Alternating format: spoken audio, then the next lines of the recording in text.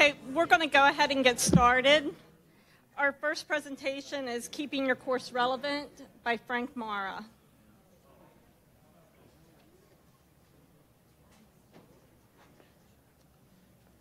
Oops. Down. Oops, get that up there. Thank you, Cindy.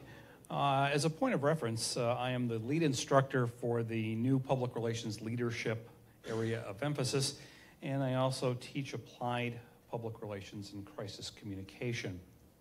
Okay. I was talking to Matthew about preparing for the podcast earlier today, and he suggested a question What's the benefit of integrate? Fair question. Why are we here? For me, it's about engaging with uh, the people that we work with. Uh, we'll talk this afternoon about ways to engage our students, but for me, the big benefit is to engage with the people we, we work with that we don't see because we are isolated. Today, tomorrow, Saturday, uh, is a terrific opportunity to share ideas with each other. Uh, one caveat before I begin when Cindy asked me to uh, talk about keeping classes relevant, uh, I think I laughed. For me, teaching crisis communication, it's not because I want to stay relevant, but it's because I have to keep the class relevant. God knows there's a new crisis every day. In fact, I check my cell phone and it's every hour there's a new crisis. Lots of people on the next hour and a half will provide specific suggestions about how we can make our classes better uh, and more relevant by improving how we engage with our students. Uh, but let me offer a few comments that I hope will go, will, that will go beyond what they offer. And it comes from my background, uh, working with my students, and it's some insights that uh, perhaps will in- increase the relevance and value of your classes to your students. Prove me wrong is a philosophy that my mentor, Jim Grunig at the University of Maryland, built into his graduate classes. I use it today in my classes with my students. It's easy for students to think there is only one right answer, and the professor is always right. The fun of graduate education is getting students to think and to use their experiences to challenge the current principles and practices. Prove Me Wrong helps create a safe culture in the class where students have the confidence to share their firsthand experiences and to challenge the textbook, to challenge accepted strategies, and best of all, to challenge me. Love it when that happens. The best discussions have lots of different and valid perspectives. Prove me wrong or prove your classmates wrong help encourage students to develop confidence about their opinions. Are our assignments good or are they great? Do we have one or two memorable assignments in each class that resonates with our students?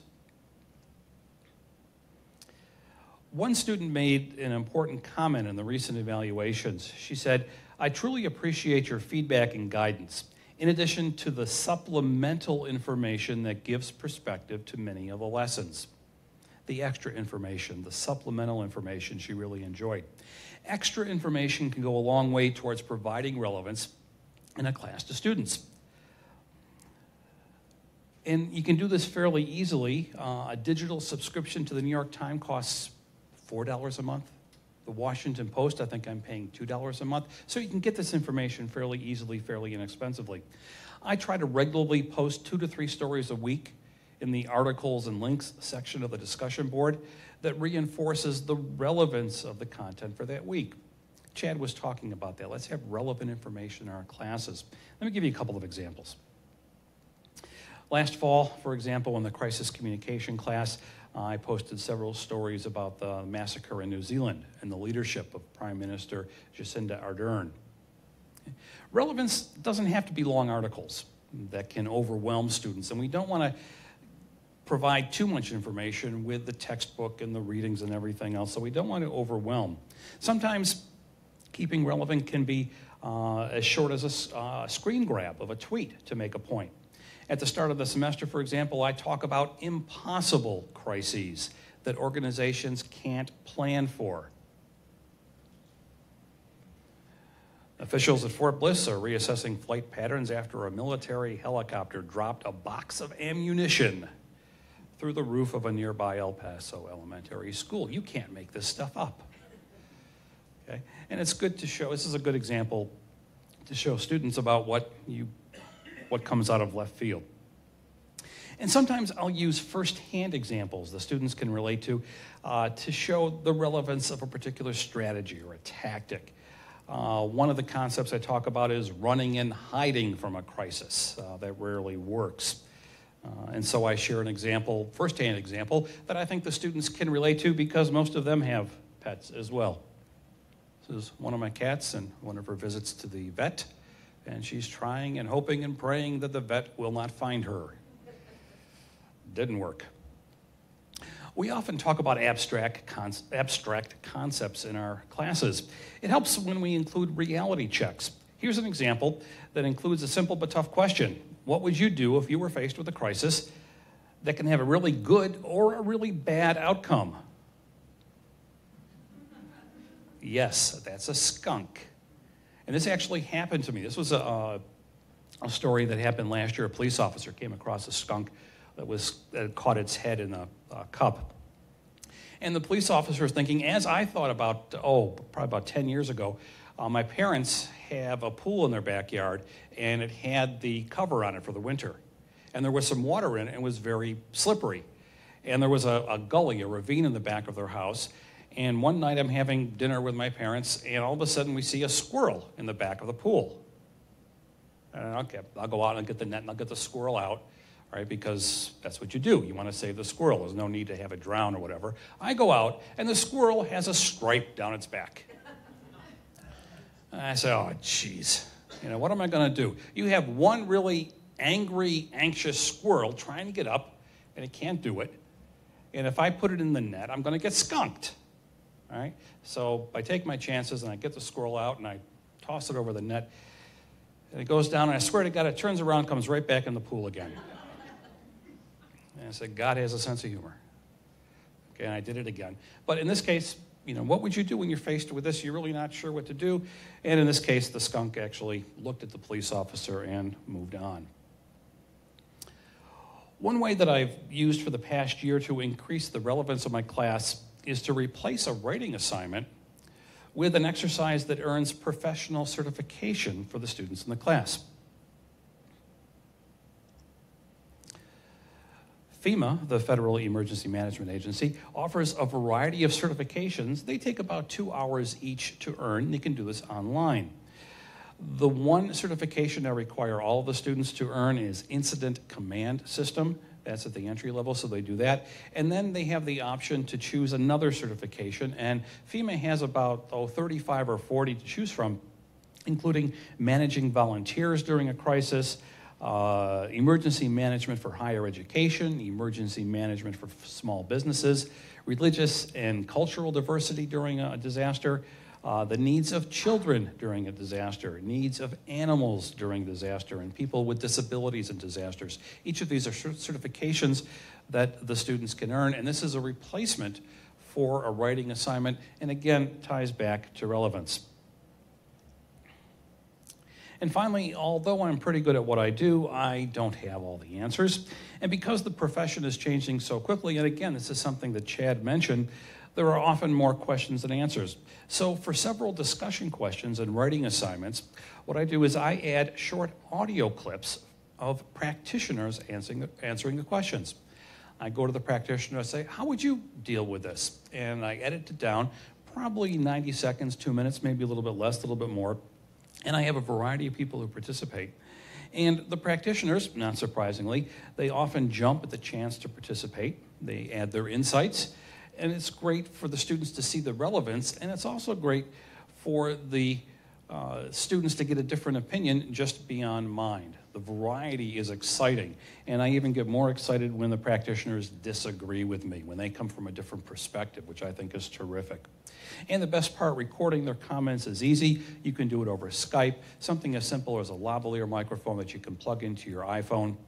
There are more complicated solutions, but it is fairly easy to get uh, the comments from the professionals. And it adds uh, real world insight, real world relevance uh, from a variety of different uh, chief communication officers that I think the students appreciate. At the end of the eight weeks, the students will have earned three credits. They'll remember a handful of concepts, maybe. Okay. Our lessons are good, our assignments are good, but can we go beyond the material in a variety of different ways to make our abstract, our hypothetical content more relevant? Okay. Great, thanks.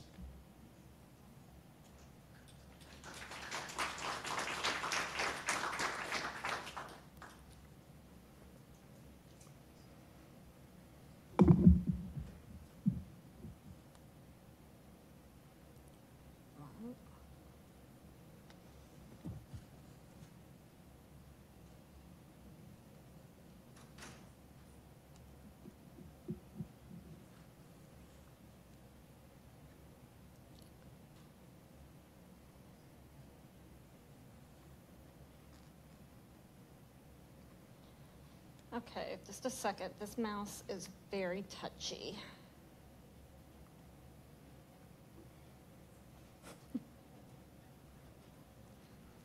Why is it not?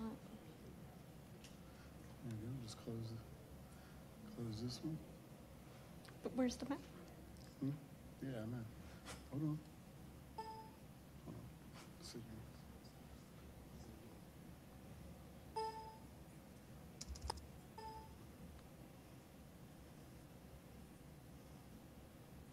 I'm not sure what happened here.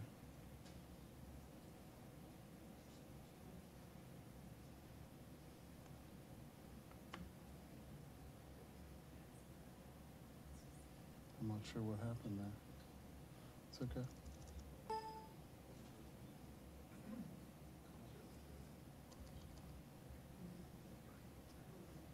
you want me to grab a mouse? Yeah, I'll get one. I'll get one. I'll get one.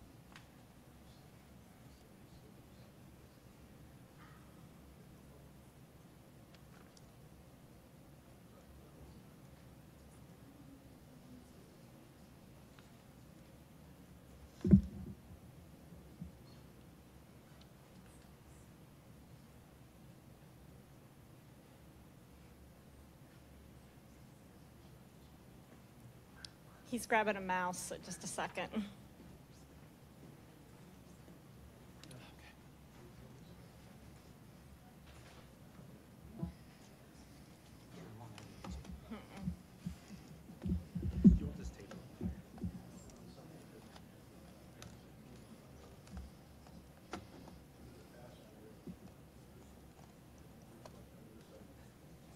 Great.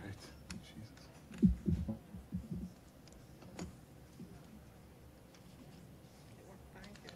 Yeah, I know. Don't worry. It's, there we go. There, got it. I don't know what was wrong with the trackpad. All right, so we'll just, we'll just move it over here. Yeah. All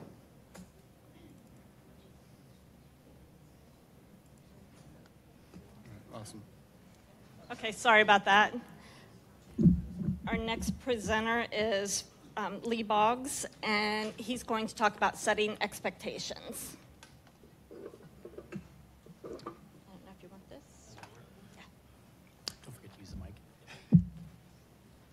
I'll give you a three-minute warning on one.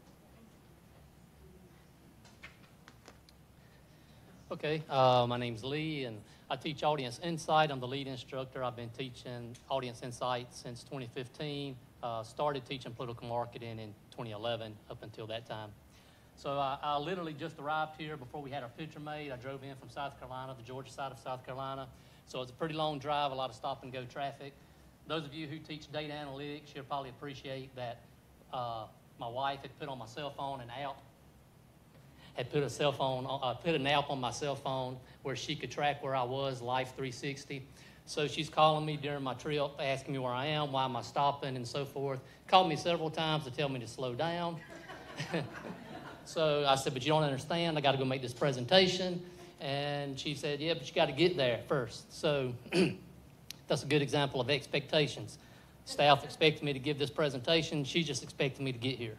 So on that note, uh, that's sort of how I view our expectations thread, is that the students uh, see it as for us to explain to them what, they ex- what we expect out of them, but at the same time, we can use it to explain to them what they can expect out of us.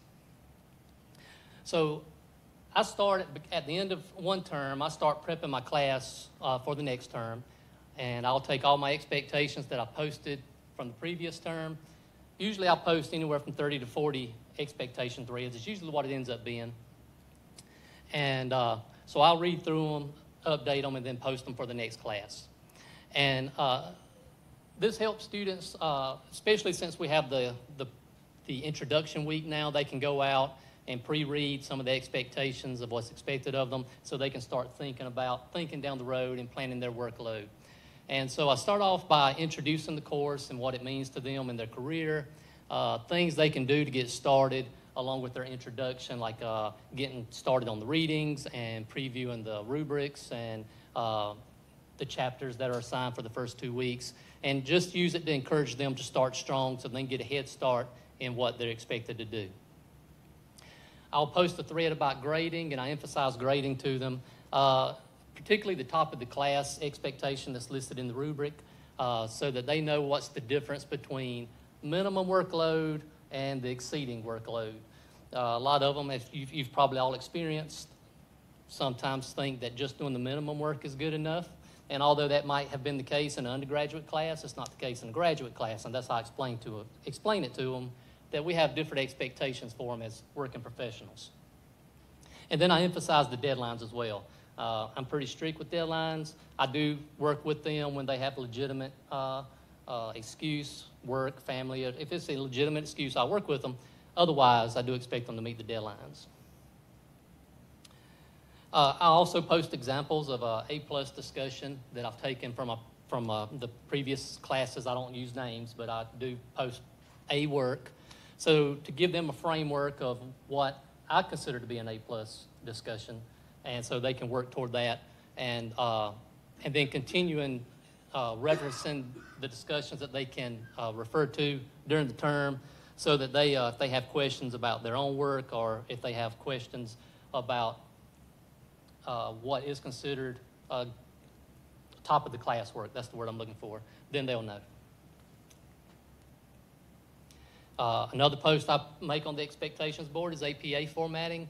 Uh, I know that's busy work. They may consider it busy work, but it's still uh, reflects professionalism, I think, when they follow appropriate APA styles. So I stress that to them, uh, particularly when it comes to the references, and also in, expect them to uh, reference their visual aids.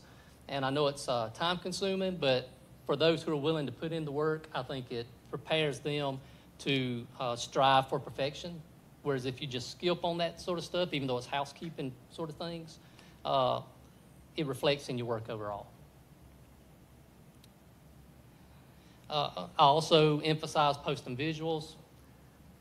About a third of the class sometimes likes to get by with just writing text and not putting in the extra effort to go out and find supporting materials like videos or charts or infographics or even making their own that they can use to support the points that they make in their discussions and their assignments. And also embedding it properly. They seem to struggle with that. So I uh, post instructions on the uh, expectations 302 about how they can embed visuals. And that helps them out along the way. Uh, another post I'll make on the expectations board is uh, participating in all, the, all of the discussions. Uh, I use it as an opportunity to take the discussion question that's listed in the assignment and expand on what I uh, anticipate from them from that discussion question. I will hold their hand a little bit. I will go ahead some, in some cases and provide them with some uh, resources that they can check out. I provide them with examples. Uh, case studies, anything that'll help give them a boost along the way, and uh, they seem to appreciate that. I post follow-ups on the expectations board after an assignment is over. I will post, and going back screen, uh, I do the same thing for assignments as well as discussions too, not just the discussions. And then I post follow-ups at the end of discussions and assignments and emphasize the key points and the, and the takeaways that were made for that week uh, so that they can understand a little bit better where I was coming from with their grading if I didn't make it clear in the feedback to begin with. Uh, I use it to uh, post reminders, uh, encourage them to continue to uh, meet their deadlines about the evaluations that we do every semester and integrate. And students seem to appreciate it. Here's a sample of some of the comments that have been made in the evaluation at the end- end of the course. Uh, Some tips I actually need to follow myself, which I plan to start doing in future courses. Instead of preloading them at the beginning of the course, I plan to space them out a little bit better so they're not overloaded. I think I sometimes make the error that Frank pointed out just a second ago, giving them too much information at one time. So I plan to spread, space them out a little bit. Uh, I'm also long-winded when it comes to writing, so I need to go and divide them up a little bit, maybe get a little shorter on my uh, posts. And there's still some I have in mind that I'm going to continue to add to taking their comments from evaluations and, and seeing where I could have perform, performed better. I've thought of some other ideas that I can do to uh, improve the expectations board. And that's it. Thank you.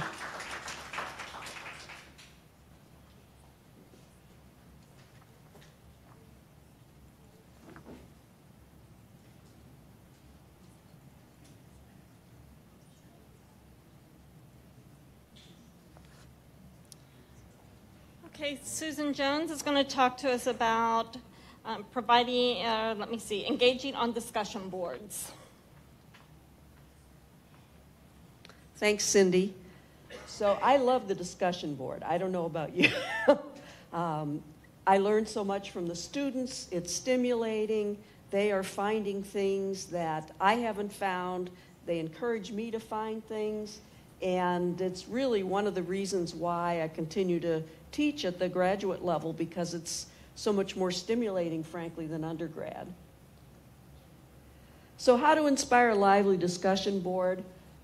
I try to look approachable. I've had people tell me, I've actually gotten clients because they would say, Well, we saw your picture and you looked approachable. You didn't look like you were going to be negative in any way, easy to talk to, and that's what I want to make sure the students feel like.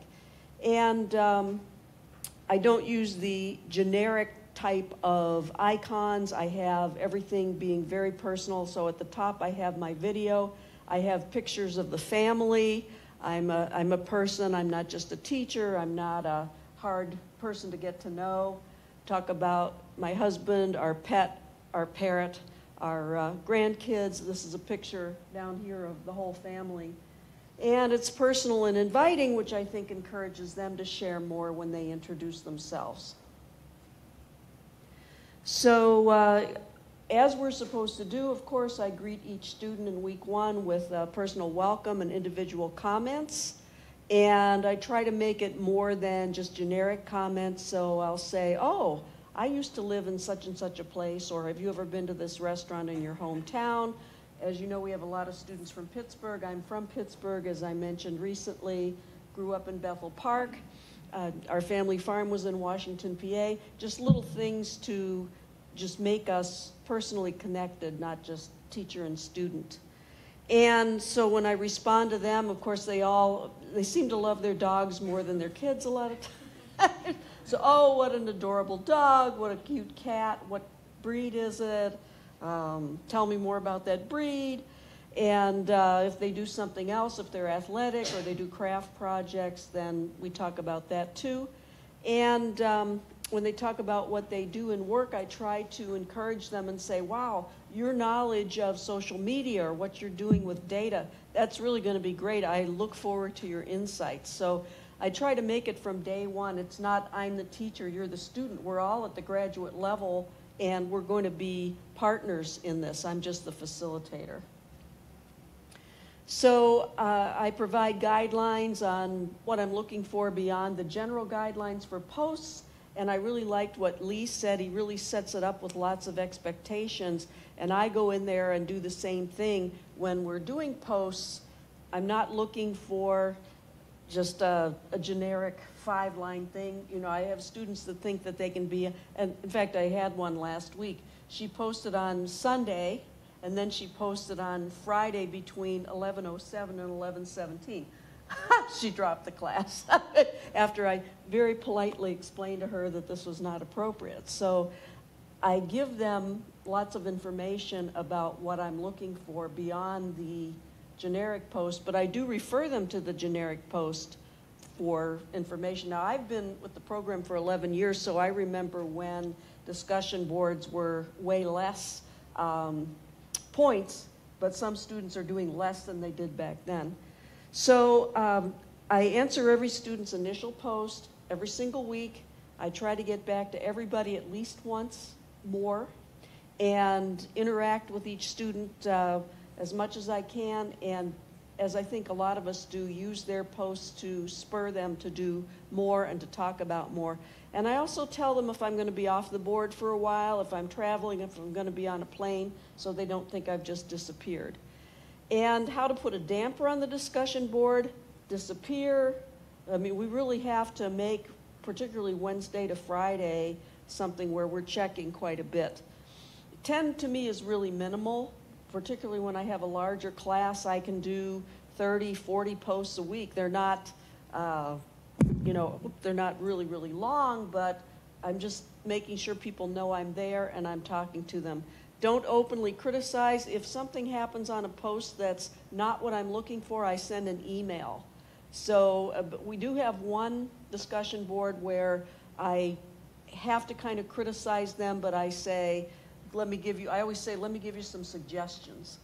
And uh, don't do things we ask students not to do, and don't condescend to students. I really try to make this facilitating rather than I'm so smart and you're just a kid, because, you know, they're not. they are smart cookies, and I enjoy being with them a lot, and I try to make that come through. So that's it.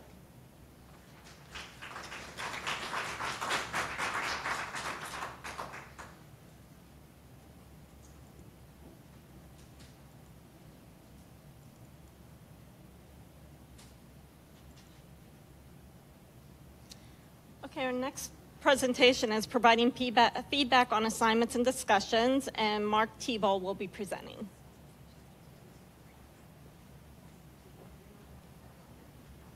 Okay, and this is the right button, right? Yes. Hi. Oops, I broke it. Anyway, I'm Mark Tebow. I already told you pretty much what I teach, and uh, I really like the classroom setting. I don't know what, how, I, it's going to be interesting to see how much I can add to what everybody else has already put, because I do a lot of the same thing. But anyway, this for me is the key. You know, Michelangelo, this is a tribute to him. I don't know if it's alleged or real, but the, notice the age when he said that, 87. Well, I hope at 87, I'm still learning. And uh, I mean, I think this is a great age that we live in for learning. And uh, so anyway, so I'm looking forward to it. Oh, backward. I think lifelong learning is a must. We need to teach this to our students. This is my contribution to this discussion. Um, facts are certainly important, but in my field, I don't know about all your fields, facts change constantly, all the time. I can literally set up a class, teach the class, and while I'm teaching the class, a lot of the facts will change. So the key for me is that I want them to learn how to learn. I want them to support what they tell me. I don't want them to necessarily memorize facts. Facts are good, but I mean, the world as we know it, Google, Facebook, machine learning, artificial intelligence, semantic search, all these things constantly are changing and without really any advance warning. So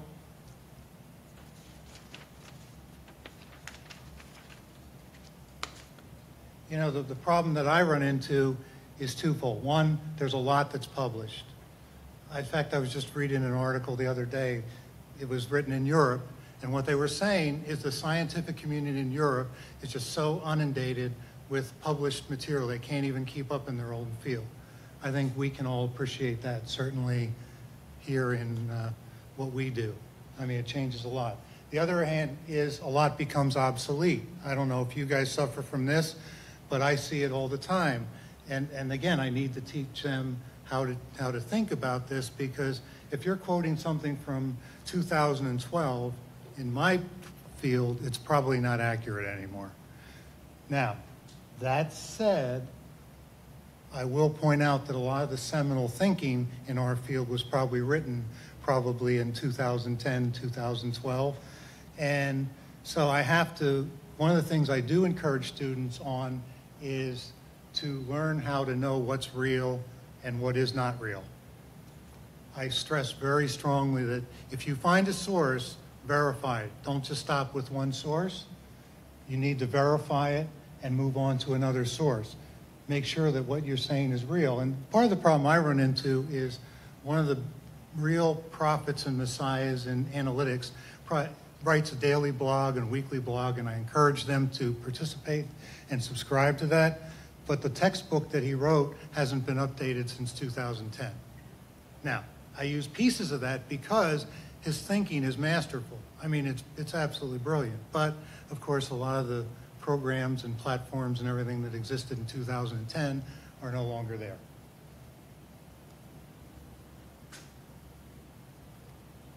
So, so starting the class out with the right expectations, and here this is very similar to what a lot of the rest of you said.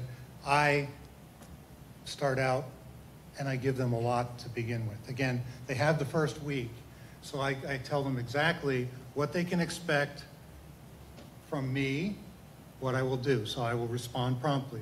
Generally, I'll respond within a couple hours. Um, everything on the, everything in the email comes to my phone. So if I can't give them an answer right away, I will tell them when they can expect an answer.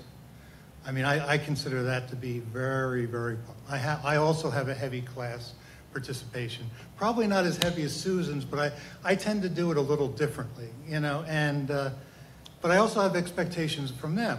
You know, I expect graduate quality level work, especially on the thinking side. I expect on-time submissions. I expect being active on the discussion board. If you're not those things, we're not probably going to get along real well.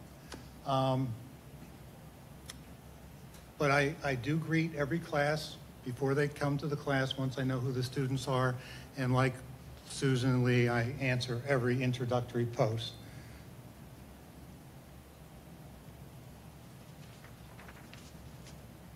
So, what do I do? I think I'm sort of like you, Lee, in this way. I push back. And I do it politely, but I push back. I don't want to, I don't want you to tell me that this is what I believe is true. Not unless you've also substantiated that with one or two or three multiple sources and you've synthesized. To me, synthesizing what you learn is incredibly, incredibly important. And in my comments and in my points on the discussion board, I, I always ask why. I ask a lot of why questions. And frequently I'll ask two or three whys. And, and to me, that is really what's important because what I do is I tend to participate. I probably write 15, 25, 30 posts every week, but I don't do it, I don't hit everybody in the same week. Everybody gets hit four or five times in the discussion board, but I don't hit everybody every week. But what I will do is I will hammer two or three or four, you know, things to keep a certain level of conversation going. And the conversations tend to be pretty, uh, pretty unique. I will say that. Um, one of the things we do, and one of the things I find is most educating for the students, is that we tend to get off on a lot of tangents. We, uh, we, we also pursue a lot of things. Being in web analytics, SEO, mobile marketing, we can go a lot of different places. So we'll end up talking about uh, AI or agile marketing, or perhaps we'll end up talking about technology, or, you know, one of my favorites is customer experience. That always seems to come up in both classes. You know, how do I measure customer experience? That's, but that's really more of a topic that we will get into on Saturday, and I actually look forward to that. Sometimes we'll drill deep. I mean, I don't intend to do that, but like sometimes some of the students because one of the things I get in 642 is a wide range. I get some novices, and I get some very experienced people. And so they'll want to, so they'll, they'll very much want to get into, um, you know, the depth of, let's do, let's talk about UTM, or let's talk about Google Tag Manager. And we can do that in the discussion posts, and some people will participate and some people won't. Um, So, anyway, what I do, real quickly to sum up, is I give a lot of feedback. On their assignments, I download the assignments, I probably put 8, 10, 12 or more comments on their assignments directly on the assignments, pre-upload them.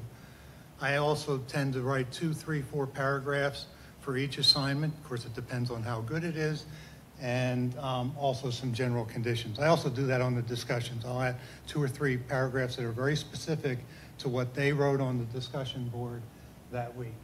And lastly, um, and Matt, Matthew taught me this one. So one of the things I do at the bottom there is I provide every week some perspective on what's coming up. I look at perspective on what we're going to talk about on the discussion board, what their upcoming assignment is all about, and I also recap the week. What went right, what went wrong, what I liked, what never came up. And there we are.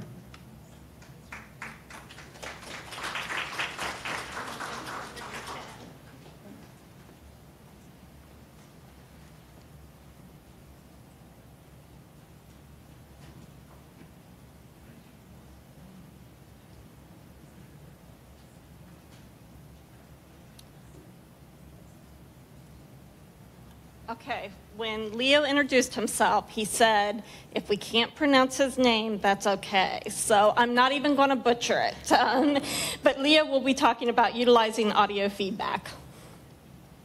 Yeah, I don't remember my last name, so it's fine. I even practiced, Thank still can't I, I actually have a YouTube video. I Show- watched your yeah. YouTube video, I still can't get it, so. No worries. Can everyone hear me okay? Alrighty. I get really excited, sorry. So I recently just started teaching. As you heard at the beginning, it was my first semester. There you can see me. There's my little pug. I have a laser, just in case you get confused who's who. I was really, really excited. I couldn't wait. I could teach from anywhere. I travel a lot. So I could connect with students everywhere. Like, this is one of the best times to ever be alive. Like, I wish I was a student now, being able to do this, being able to connect with all y'all, being able to connect with other people around the world. It, I, I just was crazy excited.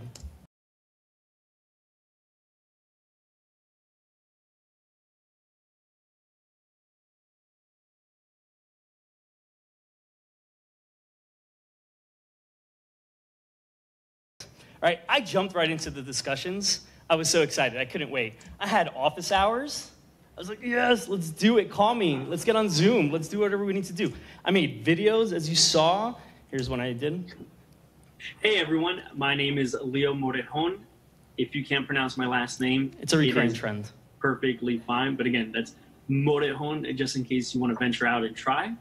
I am super, super excited to be part of this journey with you here at WVU. I Yeah, enough of that. But you get it. so I made videos, I was in discussion boards, but when it came to grading papers, I really just it felt cold. It felt inefficient. I just didn't feel like I was building affinity. I wasn't really working with folks. I just I didn't feel like I didn't feel that connection that I felt in the discussion boards on the cause, so on and so on. So I was sad. I wanted to connect with students, right? And feedback needed to be memorable, right? I needed to make sure that I was memorable. So you can remember this now, right? You're, I'm totally cracking up. You're hysterical. Thank you. I appreciate it. well, I tried to incorporate that as well. Like, I wanted my feedback to be memorable. I didn't want to just type something out real quick and like, oh, you should have done this, should have done that. Like, I thought it was boring. They're not going to remember it. All right, so I was sitting at my desk one day. I was just there with my pug, Truth, and I noticed my podcast equipment. Did you miss it? I mean, how did I miss it? It's like right there in front of me this whole time.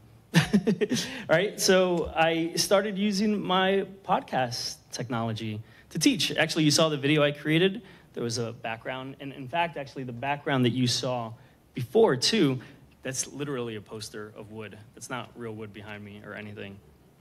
So I have a podcast. It's called Build It Inspire, and it's fo- focused on exactly doing this: building people up, inspiring people to do things, do amazing things. So these are the avocados that I grew up eating and that I still eat. And these are the ones that are coming from the tree. Jesus. Look at my head for scale. I Yeah. grew up with a Head, but It's about business, I promise, not about avocados. Uh, so I thought, why not use this? Why not actually start using all this? And I started doing it, and it started working out. I started providing grades to people based on audio feedback. I wasn't always yelling. Most of the time, I probably just sounded like this, but with my pug running around a little. Then why, though? Like, why is audio important? Why should you use audio? Why did it work? Why did I use it? Audio is powerful, right? So audio is actually older than writing or reading. I need to get into that. The most important thing, actually, that's really important as to why I have a podcast, why I, I share my information and feedback on audio, is because audio is passive. You could be doing anything else while still listening. That includes driving, cooking, running, or whatever the heck this is.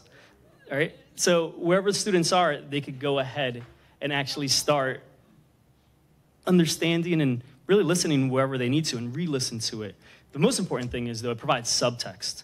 We've all been in those situations where someone texts you, write you an email and like, that guy's being a jerk. But they weren't, right? They're probably been like, hey, what's up? How you doing? Let's hang out. And you're like, wow, all right, way to be aggressive. But at the end of the day, they could hear my tone, they could hear my emotion, they could hear really what I felt behind the emotion, which is almost impossible to do in text, maybe with emojis here and there, but not really. And we're in the golden age of audio. We have podcasts, right? More than 50% of all homes are podcast fans. It's growing. Voice assistants. There are people nowadays, there are kids actually that talk to inanimate objects that they think talk back to them. There was a survey that came out saying that people actually consider some of these their best friends. They need lives, but at the end of the day, they still consider them friends.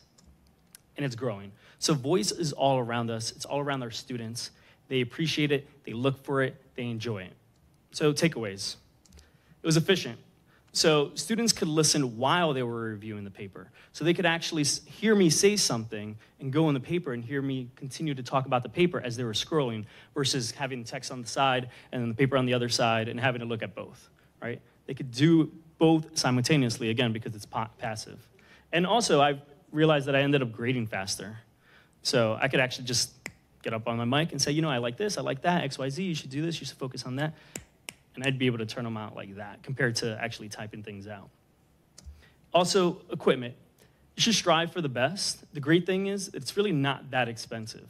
So I'll share this deck too, and I'll share everything that I use. So at the end of the day, I use a free recording app. You can download from the App Store. There's a Windows version as well. This is a mic stand that I use. It's only $13. This is the filter that I use, a pop filter. So when I go, you don't hear that kind of stuff. Right. And at the end of the day, that was, like I said, almost $13. The most expensive is the mic. I really do suggest that you invest in this. Again, I wanted to be able to provide quality. I wanted it to be clear. I didn't want it to popping sound when they were listening on their headphones and stuff like that. But most importantly, it connected with students, right? They could hear my emotion, they could hear my tone, and at the end of the day, they remembered what I had to say. They didn't laugh as hard as you did, but maybe, maybe they did. I don't know. Thank you. Any questions? Oh, I got questions. Cool.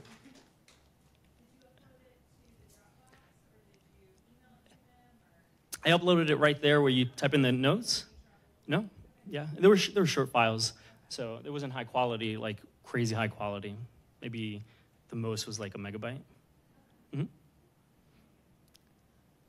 This just reminds me, I, I actually, I teach online this summer, but I'm a full-time professor here at Mhm. TV and broadcast. So my students are always out in the field and I have to teach them how to say things. Sure. right? And so I will do like just voice memo and then just like upload it through an email or a text. Yeah. So even, I think when people are looking at that thinking a hundred bucks for a mic, I mean, you don't even need that. It's not You don't. quality, Yeah. what you're saying. That's true too. So I never even thought about the idea that you could do that for online as well. Yeah. I do that now in the classroom. 100%. Because they also need to hear inflection. As You got it, that's subtext. doing that. So this was actually a good idea.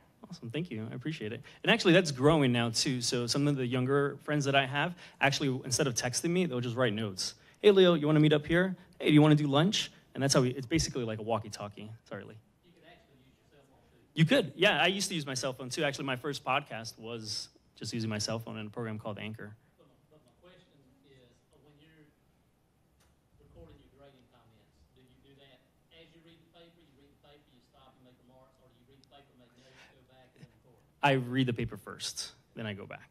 Yeah, and sometimes I'll even you know I want it to be clear, and I'll make a mistake, or literally my dog will run around or something, and I'll redo it. So I try. I do strive for quality, so when they're listening to it, they're not being distracted or anything. Have you found that a link is too long or too short based on their feedback? Uh, not on their feedback actually, but I've tried to keep it based on like 30 to 60 seconds, and just trying to get all the main points in there. Does that answer your question? Yeah. I was curious if you also like marked up the paper in the crock doc or whatever that is as well, because I'm all about marking. Got it. Yeah. I would do it as well, especially if I forgot something. Like sometimes I would record something that was 60 seconds. I'm like, is it worth me actually going back and re recording this whole thing? Or if I felt that it could be complementary or supplementary to what I had to say, then certainly. But most of the time it was if I forgot something. Any other questions? Are you archiving your comments or on your own end and maybe for specific like assistants or speech friends or something like that? Interesting. I've not. I have them. I have them on my in, on my desktop, but I've not actually gone back and listened to them. I love that idea, and I will do that. Anything else? No. Do you want to see pictures of my pug again? Yeah. No. Okay. Thank you so much.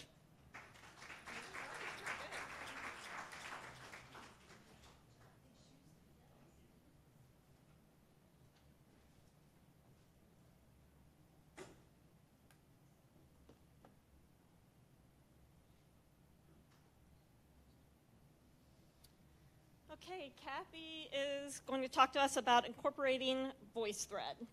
Well, and first, I'd like to give a shout out to my good friend Craig Davis from Ohio University. Chad and I actually went there to visit, and it was actually Craig that introduced us to VoiceThread, and then we learned more to know how we could turn it on here at WVU, and I've been testing it the last academic year.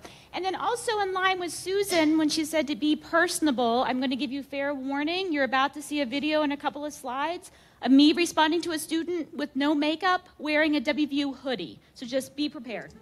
So, what is VoiceThread? VoiceThread is a tool that enables audio, text, and video comments. You can actually pick which of those you'd like to use. You can record and share your comments with your classes, and then you can uh, the students can comment to yours, they can comment to one another, or as an instructor, I can privately comment to the student. Now, I want to clarify this is not an instant messenger type of tool where the students can one on one privately communicate to one another. I only have that option as the instructor. Now, there is a graded component. I discovered that this past semester. That actually made life a whole lot easier. And I do want to remind you this is not live or web video conferencing, this is not Collaborate Ultra. Bill Nevin is going to be talking about that next. This is actually something where I can post a comment, the students can watch it on their time, they can comment back on their time, and we can keep the conversation going there too. So I think it really works well in our current model, especially in the discussion, since we have that asynchronous model where students can log in when they need. On the right here, I've put a photo of what the dashboard looks like. And it's a real easy to use feature where you can choose whether you want text comments, the audio text, uh, the audio comments, or the webcam, or you can save different compatible files and upload those from your computer too. So lots of options there. So VoiceThread in the classroom. Again, I've been using VoiceThread the last academic year. I've been using that in uh, my two large classes that I teach on ground that also have a high, really heavy online component, as well as my, uh, as well as my writing class as well. So I want to kind of get you started here. It's playing, showing you just an example of how I used it in one of my classes to pitch their idea for a final project.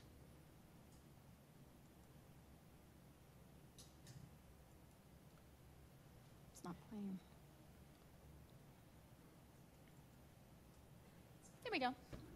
So for the final project, I would like to work with the Boy Scouts of America. I've actually done a lot of work with them in the past Um, and one of the reasons why I want to work with them right now for the final project is because they've been going through a lot of different changes here recently, and a lot of them have been fairly controversial. So they can use all the public relations help they can get, especially because most of the program that they provide is actually ran by volunteers. So any help that they can get for public relations help or promotions help, they're more than happy to um, to to have. Now, for this particular student, you notice that I used the text response. I didn't do an audio or a video. In this particular class, I was trying the test, and it just kind of popped up with my response to him. So, how exactly does it work as far as a management uh, to grade discussions, to grade uh, what I might use? This is another screenshot from one of my classes. And if you notice, right there in the middle is that sort of oval dashboard where everything comes to life. Now, I want to remind you, this plays well with eCampus. This actually works well right inside of eCampus. You do not need to go to another tool or do something to pull it in. It, so eCampus frame is all around this. I just cropped it out so you could see better. So this is another example of a student that I, that I had used in my class. On the right is the roster of my class, and you can see where I assigned a grade for their participation.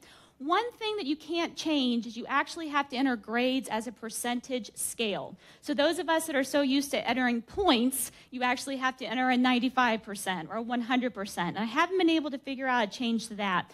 But the really neat thing about doing this is the remind feature. So it builds in and it knows which student has posted a voice thread and which student hasn't. And even prior to the deadline, with one button, I can click and basically remind those students who have not yet posted that the deadline's coming up and they need to take advantage of this. Now, the great thing about this, it is a customized message that pops up that will go to everyone. It sure beats, I teach large classes. So in the class of 100, 17 might not do it by the deadlines. Rather than sending 17 emails, I can send one. And I can customize that message, but it reaches everyone at one time. So, some other tips about how it works. I want to show you one more example from my class that shows a student posting and me responding to that with the video. So, this screenshot on the left shows a little bit of what you see when you mouse over, when you hover over something voice thread in eCampus. It's going to show you the author, the title of their post, that's going to become important because just like a discussion board, we can have multiple forums. So you can have multiple topics going at the same time, so you want to make sure this is categorized where it needs to be. Also, you can see how many times was this voice thread viewed. You can also get some metrics on how many comments were left, and those comments are any type of comments, not just text, video, or audio. And it has a subscribe feature. So, as we talked about earlier, every single one of us in this room should be subscribed to the faculty dashboard, and we know how that works. We get an email alerting us that something's been posted. So, actually, VoiceThread works very similarly in the same way. So here's an example to kind of show in one of my large classes. This particular girl, she was very quiet. She was very shy. She didn't like to speak in class. And I had each student, though, post what they wanted to do for a special topic project paper. And I was able to use each one to provide feedback. And that was sort of eliminating having to meet with each of the students one on one. And then, of course, anyone in the class could watch and see this as well.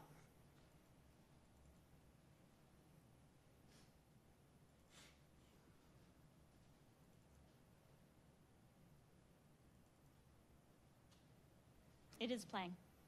Hi everyone. So for my special topics project, I was hoping to do something along the lines of looking at jingles throughout music and seeing kind of how if there's a correlation between maybe genre of music and an advertisement um, to see you know what is more effective on the viewers and memorizing the product. Because I think music definitely has um, a big impact on advertisements and people remember the music and words about the product can be you know put in the music. So i was going to see if there's any sort of special correlations between genres maybe keys um, if music works at all. So that would be um, something along the lines of what i would like to do my project about here is my response i made to her the class could see. Hi, Gabby. Thanks for using VoiceThread. So I'm excited to see that you found a way to bridge the gap between your own interest in your performing arts and the music industry as a whole as it relates to our course. So you're going to easily find a lot of data and studies and statistics on the role of music. I particularly like how you want to maybe explore this correlation in genre of music and how that creates the tone and the expectation for a brand and and society. So I'm excited for this. Good luck. So I actually didn't require students to watch everyone else's voice thread. But I found when I wasn't dressed like I was teaching, when I was at home in a hoodie and I looked approachable, even though it might be 6:30 in the morning, they could watch it at 11:30 at night, they were more likely to watch it. And I actually found they would watch one another's feedback and the comment that I provided to other students. So I thought it was pretty good there. So, overall thoughts as I wrap up and conclude. Overall, I think it's an excellent tool and it plays extremely well with eCampus already. It's easy to use, it's easy to get started, it's pretty intuitive. I think it really adds to that sense of engagement and interactivity and really creating that sense of community between ourselves and our students as well. I think we've probably all seen the articles lately, the effectiveness of video, especially now on memorability and learning. So we're really bringing that video component to our traditional classes too. The only negative I've encountered is a little bit of a lag between the audio and the video. It's never been an audio problem, but if you pay attention as you're watching the videos, you notice the lips don't always match up quite. But again, I don't think that's enough of a problem to not see the benefit. So, next steps, I'm going to actually in the fall start recording mini lecture highlights using VoiceThread. You can actually upload some different files and annotate those files and record those as well. And then next week, I'm beginning a two week online certification program to become a VoiceThread certified educator. And I'm hoping at the end of that, I'm planning to work with Cindy and perhaps in the fall offer a professional development a luncheon, a webinar to share my results and how that might be useful to our online programs. So thank you.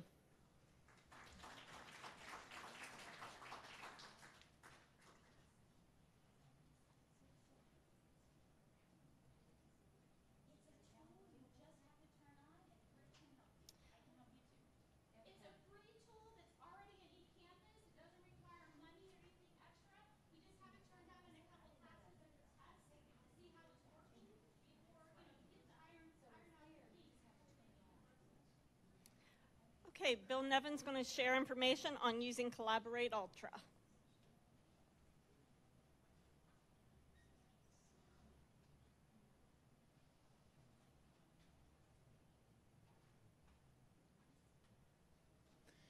Hi, everybody. Uh, I teach IMC 610. Uh, I've been teaching it for about 12 years, and this is the first course that students are, are required to take. And uh, there's been a lot of talk this afternoon about how can we engage our students more? Obviously, with it being online, we have challenges with that. So there's a tool that's readily available called Collaborate Ultra. How many of you have used Collaborate Ultra? Okay, good many of you. So maybe what I'm going to talk about here, you've already experienced and, and have stories to share of your success. You might remember before Collaborate Ultra, there was Collaborate.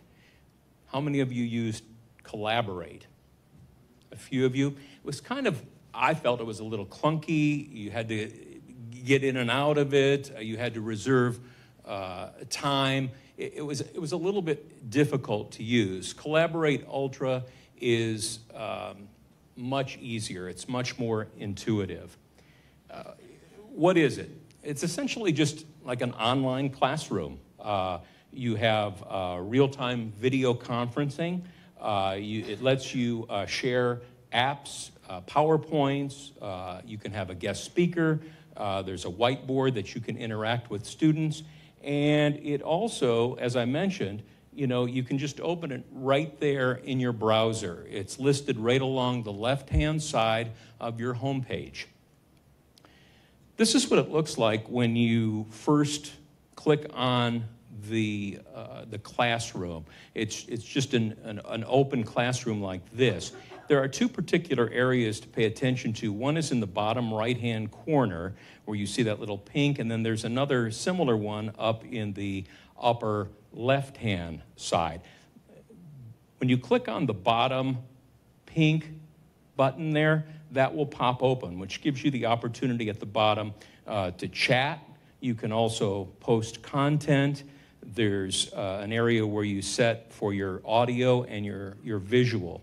Um, it's um, right down in the, in the middle there underneath also has where you can mute your microphone. You can also uh, mute your video uh, camera as well.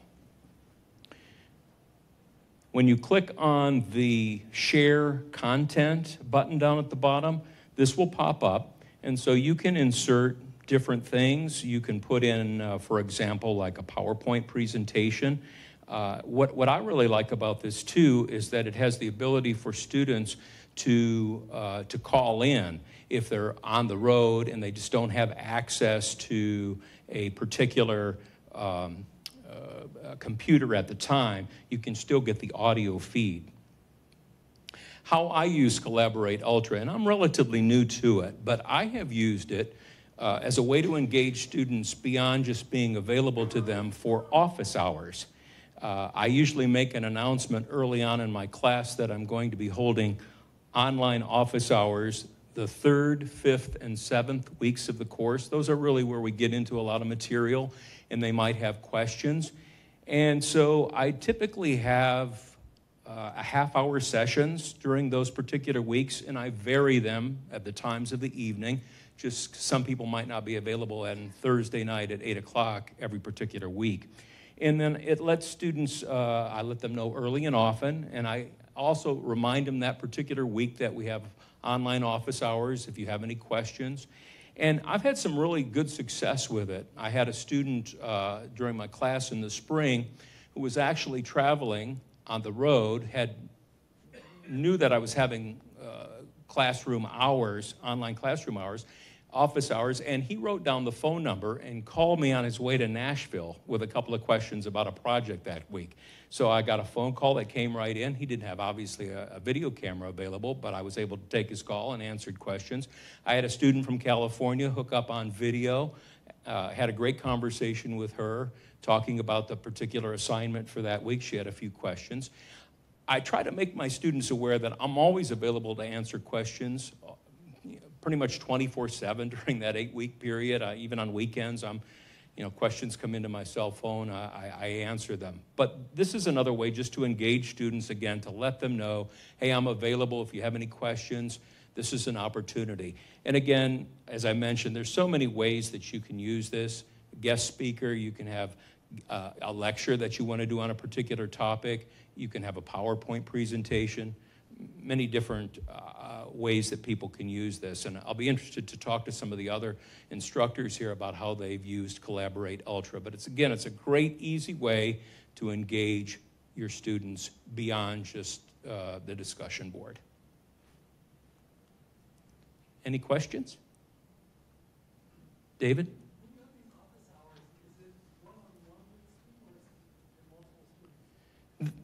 That's a great question. Uh, the times that I've had people en- engage with me, it's typically just been one student. Rick, you might have an answer to this, but I think multiple students can, can hook up at the same time. So you might have a couple of people there on video.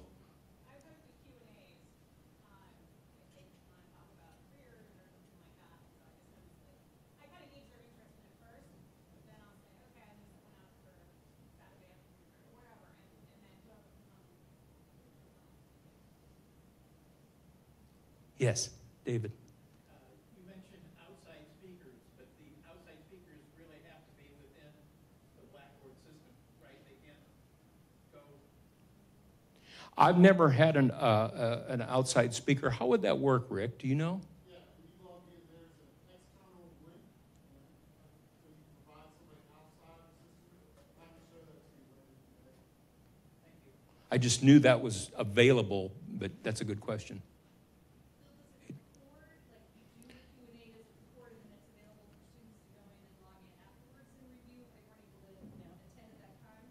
Yes. Uh, in fact, that button that's up on the left, if you click on that, there's an oper- right at the top, it says record the session. And then right underneath it, that's like the audio number. And there's some other things right there that are available. It's available like instantly when you do that, right? Yes. Any other questions? Thank you.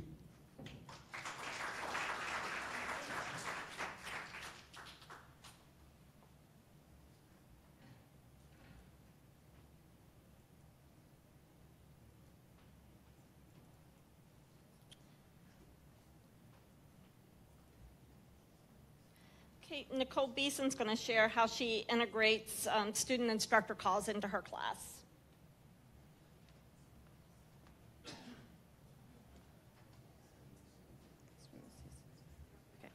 Hi, how are you? Um, so, just wanted to say that um, this was the first time that I had um, incorporated this into my class. So, um, test one. Um, but uh, it was really something that I enjoyed, um, and I really felt that it was uh, an, an engaging experience for sure. So I did this in my PR 438 event execution course this past spring. I had 20 students, um, 14 seniors, and six juniors. Um, as you can see, I had a variety of majors. Uh, there were about eight um, StratCom majors and then uh, other majors across the entire campus. Um, so a lot of them, while having an event planning minor and a variety of other minors, um, may have not had any previous experiences um, with um, event courses or um, other online courses as well. Um, so I think that was one of the things that I wanted to kind of gauge an individual conversation with these students to kind of make sure that they had the, the best experience if possible. Um, so with the one-on-one calls, um, this was something that uh, one of my IMC professors, um, IMC 618, Tina McCorkindale, um, put into place for our um, final project. Um, it was a culmination course similar to um, the event execution course that I teach. So every assignment built on each other and making sure that all of those um, received individual feedback as you went through to make sure the final project was the most positive was really the direction that I was hoping to go. Also, I talked with my intern and I asked her, I said, you know, what do you feel is the most beneficial for undergraduate students? Are they wanting to sit in uh, an open office hours, or would they rather have individual feedback? Um, and then, based on the type of course that I was teaching, she said, you know, I really think that they'll take the time to do um, individual feedback. Um, so the timeline for this, I set this up after assignment four. So the majority of their um, assignments have received um, feedback. Um, I said the um, I started that that week, and then it ended the um, for the undergrad courses. They're 12 weeks, as you guys know. Unless they're in summer, then they're six. And I think I'll definitely modify this as we move forward. But I gave them kind of about a two-week time frame to set up calls um, with me. I was very flexible with my schedule uh, to accommodate their schedule. Um, I did some calls at 7 o'clock in the morning, I did some calls at 6 o'clock at night. Um, I really wanted it to be something that was going to work um, for them um, so we could have this, that conversation. Um, participation. So I had 18 out of 20 students participate. Um, the 19th one was like on the fence. She scheduled two calls and then it didn't go through, but I feel like 18 out of 20, I was pretty happy with that um, for the first go round. Um, it was 10 to 30 minutes um, in length on average, um, with most of them being about 15 minutes. We reviewed feedback from each assignment. They, we started with questions that they had for me and we went through um, everything from those assignments and then the final project. Um, we also discussed future plans and career outlook. It really just, for the seniors, that was more pressing, and I was happy to kind of walk them through, you know, next steps, whether that was internships, jobs, networks, whatever that looked like.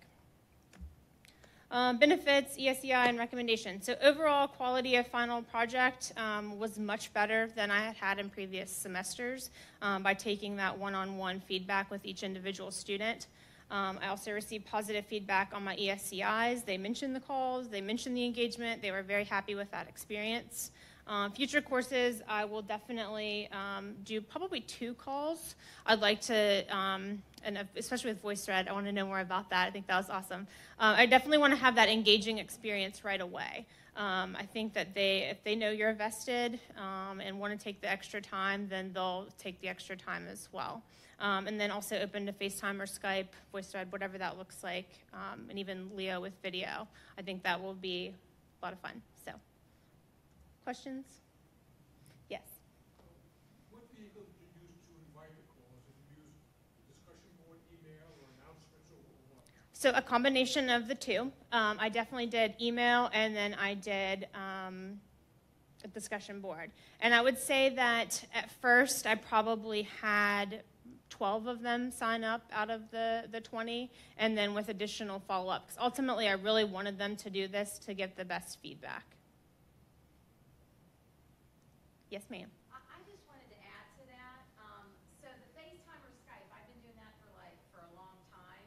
Um, with troubleshooting, it's been extremely helpful because you know, especially you get a lot of these kids are online and English isn't their second language and it's just not relaying when you're doing track changes and all that. So I'll, I'll be like, can you FaceTime or Skype me? Because they have an iPhone, it's on their phone, they only have to go to their computer and they can download the app and they can Skype you. And I have got a ton of feedback and other professors that have adopted that with troubleshooting where that's been really successful too. Thank you.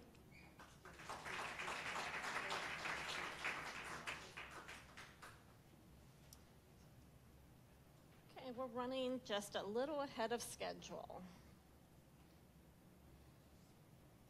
Cindy Greenglass is going to share with us um, information about being a program ambassador.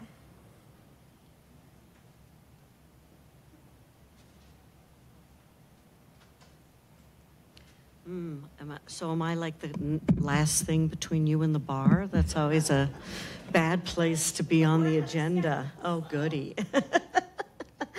um, you know, we've had so many people give such great input in it, and, and the conversation we had before the break about all the things we could do to promote the program that I don't feel that I really um, have much additional that I can add. But um, I know that when Chad and Cindy reached out and said, why don't you spend some time talking about how um, we worked collaboratively to bring the DMC program together? And I said, okay, well, I'll be happy to do so. Um, a little bit about how it all began. So, um, like Mark said, I, I think we all are all um, perpetual learners. And being a practitioner and not an educator, I came around um, to doing the IMC program because I wanted to learn, and I wanted to learn and bring that learning into everything that I did as a practitioner. And I also was fascinated by the academic world and the academic community. You know, academics have an aura around you, and as you know, I think it's kind of cool for me to be able to say that I'm an adjunct or an instructor. And for those of us that are practitioners, it brings a level of um, credibility that people um, in the business world really strive for. So I went to get an IMC degree because it brought credibility and academic level of uh, credibility to me in, where I was in my career. So when I started looking at the courses and I started thinking, everything I was doing was looking at, well, how could I learn more? When you look at all the students in your class, the students in your class are like us practitioners. They want to learn more. So you can put yourself in the same shoes as your students to say, as practitioners, what is it that they want to learn? And how can we bring and um, the enthusiasm and the knowledge that we have in the classroom to them as practitioners. And that's kind of how it all started. So I took the IMC class, and what did I see? Um, I'm an analyst. I'm a data geek, basically. That's I love data, and my whole thing is I like to find stories in data, and I look for what's missing. And what I was saying is there's like this missing gap in IMC. And the missing gap is we have a lot of really great people who came up through marketing, who stayed away from math, who are terrified of it, who didn't take classes in it, who may not see themselves necessarily as um, analytic thinkers. They see themselves more as creative thinkers. And there's, you know, data can be really, really creative too. But um, I realize that I kept sit, going through these discussion posts, and I'd be the only person on the discussion board in my class, literally in every class, who would bring an analytical point of view to a discussion. And I would hear over and over again, you bring this really different perspective we'd never heard. And then I got into Mark's class, and I was like, oh my God, somebody who teaches analytics. So I, you, I don't know, it came naturally to me to say in feedback back to WVU, we really passionately need to bring data and analytics into this um, program because I can't possibly be the only person out there who thinks like an analyst. And if I am, then our program is suffering. There's so much we have to do around math and data. So I shared that with the university and said, you know, I, I can't possibly be doing anything different than other people are. But I think that what was different is when you all leave here, we had great ideas in this room. What are you doing about those great ideas? Like, lean in and put your back into it with the institution to help make it happen. So I said, What can I do to help you make this happen? So when um, the institution said, We're going to go out to Madison Avenue, we're going to talk to people, practitioners, how do you in your own networks have people we should all be talking to? We have remarkable networks. We have people that we can introduce into this group of people, our, our own institution, to say, how do we make it better and who should they talk to? So um, offer to do some heavy lifting. Um, and it all started because I don't trust people's opinions. I said, if it's not fact, it's, it means nothing to me. So that brought and informed my passion to kind of help everybody. Um, so what does it take? I looked at this and said, what do I do? I listen to podcasts every day. I stream them on my way to work because I spend four hours in my car every day going back and forth. So how, what did I do? I said, hey, I do podcasts. We have tremendous knowledge and content across WVU. Why aren't we doing a podcast? Just ask the question, what about why not the podcast? And look what, you know, not just why not. What's the next thing that you can do? So I said to myself, if I was having a dinner party, who do I want to have at my dinner table? Now, if you asked each one of you, what are the five people you would invite to sit at the dinner table with you? Think of the cool guests we could have on our podcast. That's literally how I approach things. Who do I want to learn from? If I wanted to have somebody learn from, who do I want to learn from? That's who I want on my faculty. If there's somebody I heard at a conference, if there's somebody I think is really smart and interesting, I want them to be part of our faculty. Let's go get them. Let's go recruit them for our faculty. And who do I want at my dinner table? Who do I want to have a drink with? That's who I want on my podcast. So if we all just did that, think of how cool and wonderful our you know, programs can continue to be. I don't think this is anything different than we all already do. Um, I also, um, try and think about every day because again as an analyst when i say um, i look for what's my superpower? I say my superpower is i can tell stories and data. I said i can be a gourmet chef in anybody's kitchen. I think that's a skill. You just put me in your data and i'm going to come out and make you an amazing meal. And i think that that's a skill i have each one of us has a skill that we can bring that marshals us to be greater. And if we can use that passion, think about how we can advocate for our programs even better. So I'm reading the USA Today this morning. Here's an example. I'm reading the USA Today on the airplane from Pittsburgh trying to come here. And what do I read? I read this article about it was actually the editorial about how this fellow doesn't want his daughter to take the SATs. He wants her to take the ACT. Did anyone read this? I don't know on, on the USA Today. Um, because the, the SATs are now going to bring in geodemographic data and they're going to use it along with test scores as part of the decision making process using whether people come from um, neighborhoods that are more impoverished that uh, and all sorts of other geodemographic and lifestyle data going in he was very against it so I'm reading this and I'm thinking this is very curious and interesting. I'm gonna go back and look it up. But where did my head go? My head went, we don't teach enough about this in our classes. I'm thinking about DMC. What are we not teaching? We're not teaching privacy. We're not teaching about the negative impacts. Like, there's not a, how do we start bringing in some of this into your teaching every day? How can the program get better and smarter by identifying the gaps in what we do? We often are really good about saying what we do well. What are we not doing well? And that's where I automatically went, like maybe, you know, kind of say when I read that article, to say we should be figuring out how to have this conversation in my class. That's going to go into a discussion. That might be something that we should be looking at as a future program enhancement.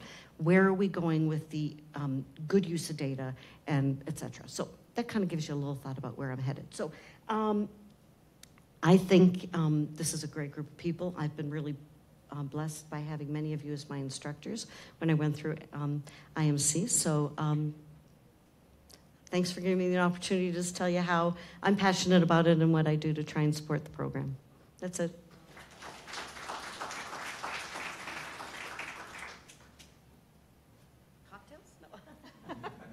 In a few.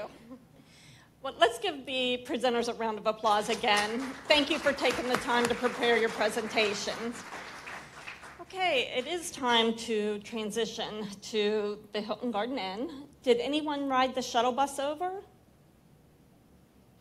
Okay, so I guess the shuttle won't be out there then. Does anyone need directions to Hilton Garden Inn? Boy, what a great group. Okay, we're going to transition, go to first floor, find your cars, and the integrate mixer begins at 6 o'clock at the Hilton Garden.